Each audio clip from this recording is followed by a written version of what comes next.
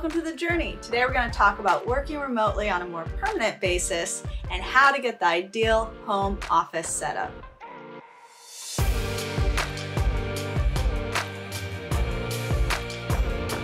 COVID-19 still flaring across the globe. It seems like we're all going to be stuck at home for some time. And for me, that's this office right here. So given this, it's a good idea to have a comfortable home office setup. And for some, working remotely might even become a long-term arrangement. So here are five useful tips on how to make sure that your home office is set up to keep you productive and healthy however long you need it. Starting with create a work environment that makes you feel good. That's what this room does for me. It helps me stay focused. And the goal in creating a home office setup is to create a space where you feel you can be productive, but also creative and inspired. And that will depend on the work you do, of course, but create an organized area where you will not be distracted by family, um, friends, and other household tasks. And you might want to choose a space with some natural light. I love sitting in front of this window here and make sure that your monitors are not affected by any glare. Yeah, and consider healthy ergonomics that best fit your comfort level and physical condition. What works for others isn't necessarily what will work for you. Like for me, it was this nice little chair where it goes all the way up. I'm pretty comfy over here.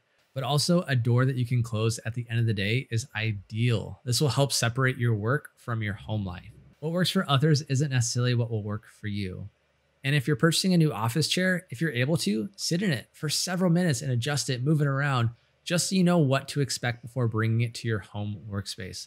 With me, I got to basically play around with this chair and it was the perfect fit. It's a gaming chair. Gamers like to sit and play Xbox or be on the play on the PC. I'm basically doing the same thing with my work, sitting all day, and I had to make sure that it was comfy enough for me to basically live here all day. Uh, but some people may enjoy working while standing, so you might want to consider a desk that you can adjust as well. I wish I would have taken your advice, Neely. I got a new office chair during this pandemic and it's not the most comfortable, but it's stylish. so also get the best type of computer for your work. PC or Mac, desktop or laptop. If you work remotely for someone else, this decision might be made for you. If not, here's some food for thought. Let's start with desktop computers. Now desktops, they're a great solution, even though they take up more space and they aren't as portable as laptops, but you can think of them as your home base or server. And desktops, they have limitless storage as it's easy to add hard drives.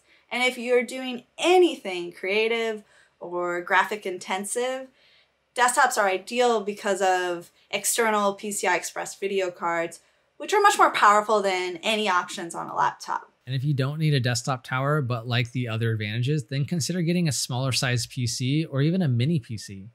All in ones where the computer is built into the screen are also a good option as well if you need something that's more practical than a laptop at home and have larger screens and more desk space. But back to laptops. Again, my my preference at home. Laptops are the default option for working remotely since you can just pick it up, leave your workspace, change rooms. And when buying a laptop, be sure to look at um, business class or enterprise laptops with SSD drives, so solid state hard drives, as they usually have better warranties and are built to last much longer than consumer grade computers.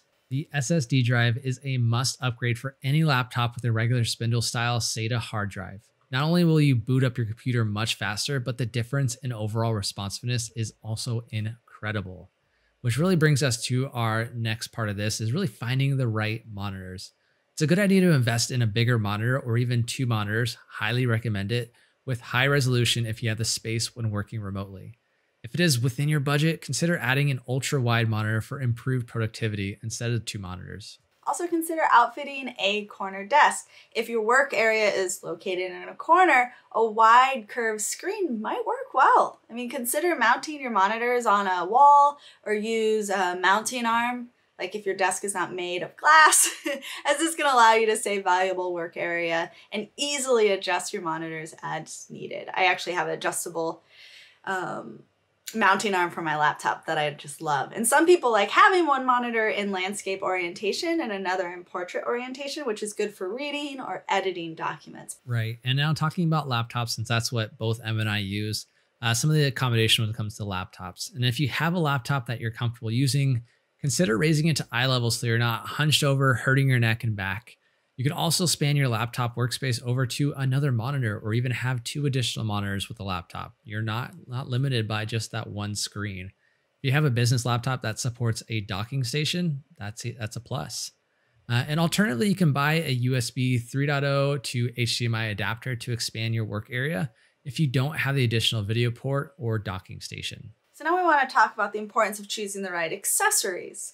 The right accessories can improve productivity when working remotely and head off physical problems, back, neck, shoulders, and repetitive stress injuries.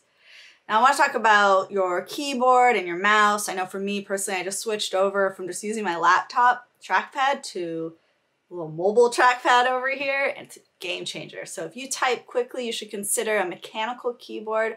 They are a little more expensive, but are very practical and easy to use. And when it comes to computer mice, get a mouse that fits your hand and feels comfortable and accurate enough that you can almost sign your name with it on the screen.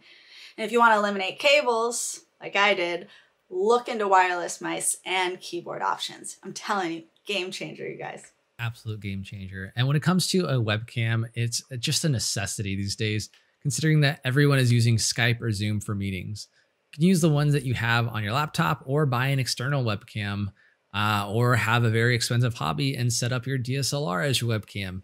But most webcams have built in microphones. Uh, and if yours don't, consider getting a headset instead.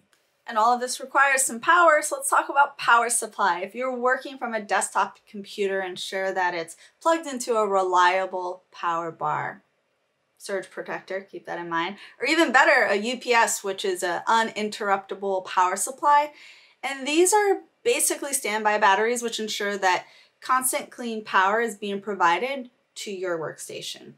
Anyone who's ever lost work because of an interruption in power can vouch for these. And if you have a laptop, you don't really need to worry about a UPS because it already has a battery inside of it.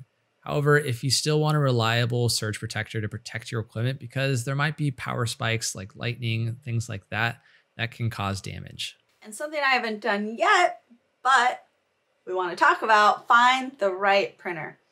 Um, yeah, I still walk up to the UPS store to print anything that I need, but determine whether you need to print or scan it all.